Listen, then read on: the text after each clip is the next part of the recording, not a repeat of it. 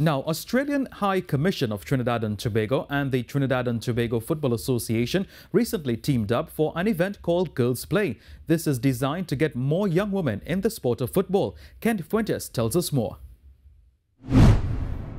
The participants in the program were able to mix and learn from members of the Australian Commonwealth Youth Games team. Sonia Kopp, Australian High Commissioner to Trinidad and Tobago, said programs such as Girls Play are very important.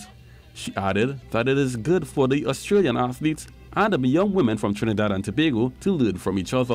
Uh, I think it's really important. I mean, we're hoping it's sort of a, a two-way collaboration that our our young athletes will obviously get a chance to, to, to, mix with the young girls here while they're here in Trinidad, which is very important.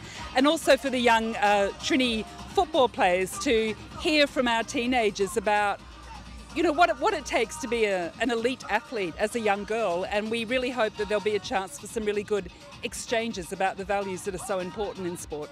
Australia's Commonwealth Youth Games team manager and the FIFA ambassador Ellie Cole reminded the young women about the positive impact sport can have on their lives. Here to speak about football and the way that sport can unite us all.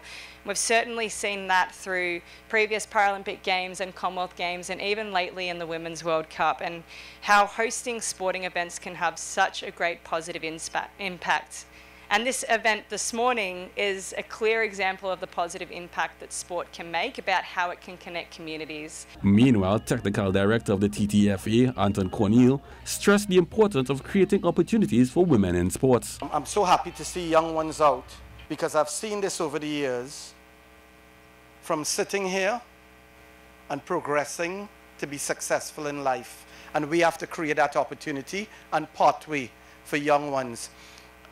I take my hat off to the High Commissioner, Mrs. Kope, just for making this happen because this means a lot to us. We're here to support the Matildas till it's done! Kent Fuentes, TTT Sports.